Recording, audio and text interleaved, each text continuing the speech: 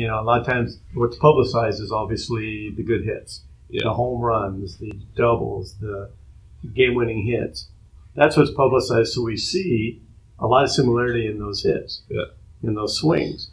But for me, ask, I want to see what's going wrong. Mm-hmm. Well, I want to see that in what is our consistency level and look at, okay, so what are the possible causes?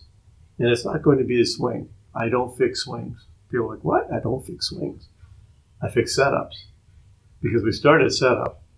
Whatever my setup is, is going to be different than yours and yours. And it might be different tomorrow. Mm-hmm. I might wear a pitch tomorrow and I can't move the same, so I might adjust. Because my body's not going to allow me to move the way I want to. So because I'm competing and I'm going to be in that lineup, I'm going to find a way to get it done, but I know I want to do this.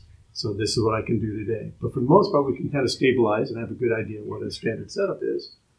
But, you know, we talked about some people go into kind of a, a hinge, some people are taller. You know, everybody has their little feeling. But those swings, when we see them working from here to here, that's where I see consistency. Mm-hmm. And I don't care who the hitter is. They're consistent from here to here. And how they get there might be a little different. How they finish might be a little different. Where that pitch was might be a little different. But that's where I look. That hand path, that line, the extension, the direction. Those are things I think are the most consistent, no matter what the swing total is.